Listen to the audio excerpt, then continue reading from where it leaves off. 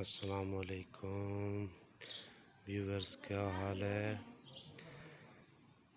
मेरा YouTube channel है marble and chips design with Kashif.